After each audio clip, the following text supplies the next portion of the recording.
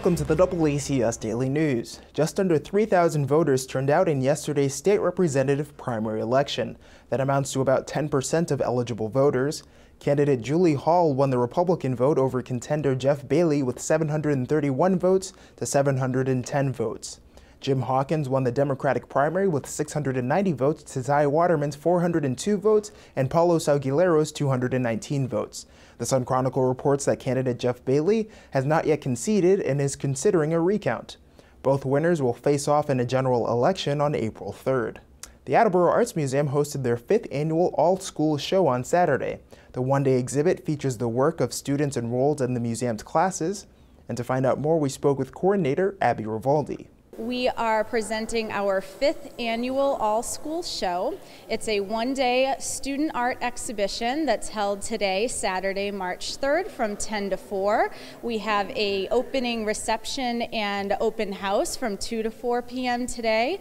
Um, all, we have about 75 pieces of artwork in the show. Um, all of these students um, are of all ages and they have taken classes during our 2017 winter, spring, and fall class sessions. Um, a lot of these students, for them, it is their first exhibition opportunity, which is really exciting for us to provide that outlet um, as sort of the last step of the creative process. Um, we have all mediums represented today. We have drawings, paintings, prints, ceramics, and more.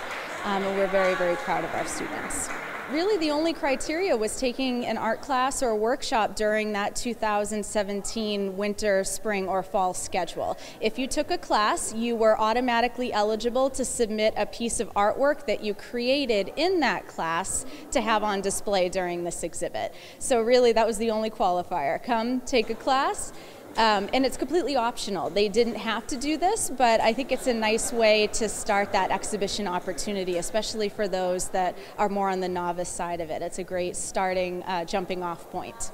It's a self portrait, it's acrylic paint, and we had to use pointillism. It was something, a new strategy I don't use often.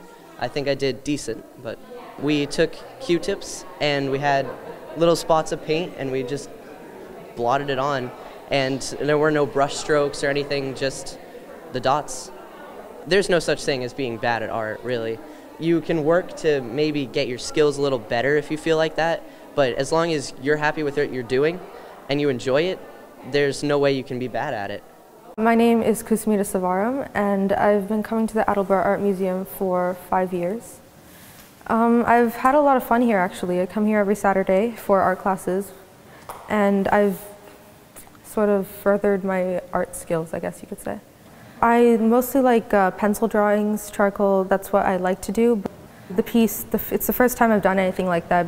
It's a self-portrait of myself and it's done in dots, it's pointillism. The reason I've done it is the art classes, normally there's sort of an assignment or sort of a thing that they tell us to do and from there we do our, use our own creativity to make it. So for more information on art classes or exhibition opportunities at the Attleboro Arts Museum, you can visit our website at www.attleboroartsmuseum.org. You can also give us a call at 508 222 2644, extension 10. You will reach our receptionist. Carrie, who is very helpful and will give you all kinds of information. Um, you can also visit us in person. We are open Tuesday through Saturday from 10 a.m. to 5 p.m. It is always free to visit the gallery um, and see what exhibits are on display. That's it for today's update. For AACS News, I'm Austin Ricketts.